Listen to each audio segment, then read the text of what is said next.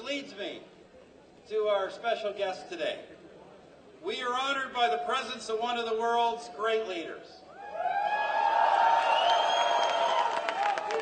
He was not born to wealth or entitlement. He was certainly not born to inherited privilege. Nevertheless, through his life and his vision, particularly through his accomplishments as Chief Minister of Gujarat, he last year became leader of India, the world's largest democracy.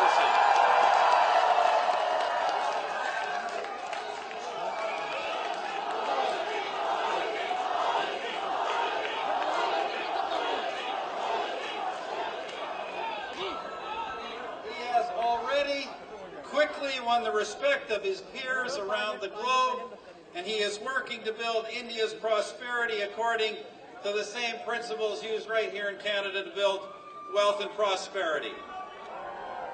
Without further ado, it's an honor and a privilege to invite to the podium on his first official visit to Canada as the 15th Prime Minister of India, Narendra Modi.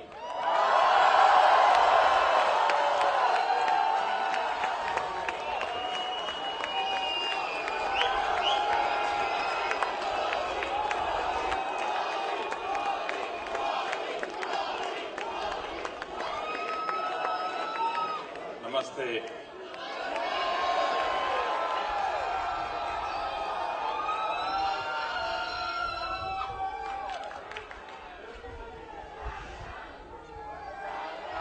आदरणीय प्रधानमंत्री जी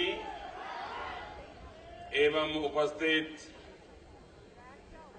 सभी प्यारे भाई और बहनों